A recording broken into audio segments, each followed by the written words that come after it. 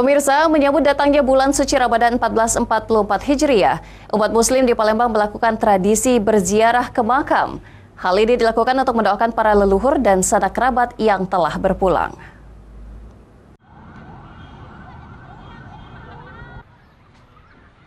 Menyambut datangnya bulan suci Ramadan 1444 Hijriah, bermacam tradisi dan kebiasaan yang dilakukan umat Islam.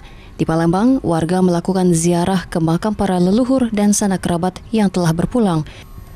Seperti terlihat di Taman Makam Pahlawan Kesatria Setra Siguntang Palembang.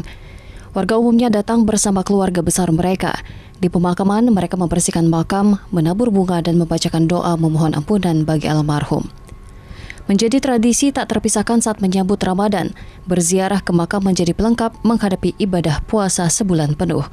Selain itu, menjadi sarana mengingat para leluhur dan introspeksi diri agar dapat menjadi jati diri yang baik dan meningkatkan keimanan serta ketakwaan kepada Allah Subhanahu wa taala.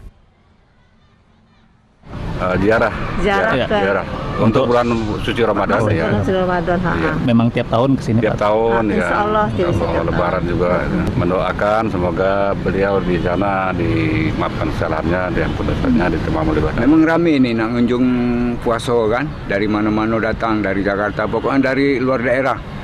Nah, tiap tahun memang ini dia.